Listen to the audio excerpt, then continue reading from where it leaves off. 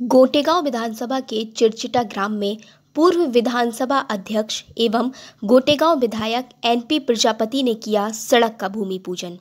जी हाँ, लंबे समय से ग्रामीणों की मांग चल रही थी कि उन्हें आने जाने में समस्या होती है और यदि कोई बीमार पड़ जाता है तो चार पहिया वाहन ले जाने में भी समस्या का सामना करना पड़ता है। ग्रामीणों की मांग पर गोटेगांव विधायक एनपी प्रजापति ने 15 किलोमीटर की सड़क निर्माण के कार्य का भूमि पूजन किया। और ग्रामीणों को सड़क की सौगात दी।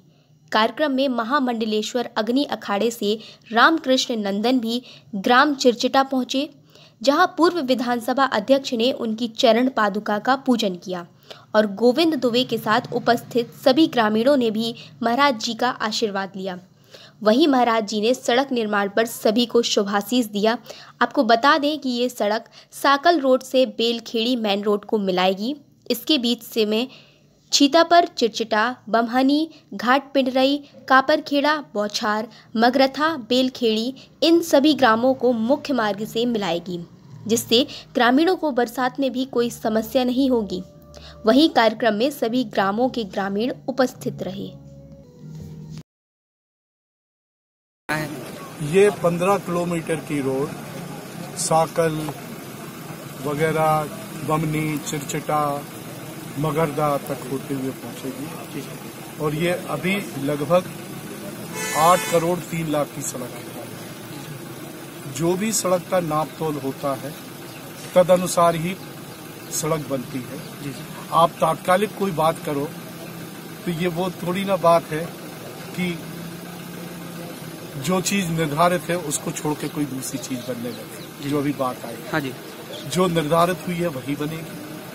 अब इन सड़कों के गाँव के उन अच्छे वजनदार लोगों की जवाबदारी है।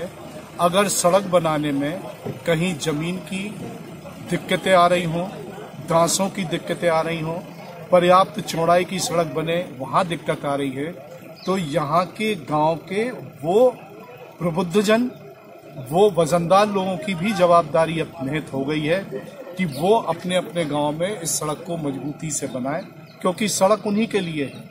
उनके गाँव के लोगों के लिए है। माताओं बहनों के लिए है, बच्चों के लिए है, बुज़ुर्गों के लिए है, बीमारों के लिए है। तो मेरी तरफ़ से प्रयास किया गया है।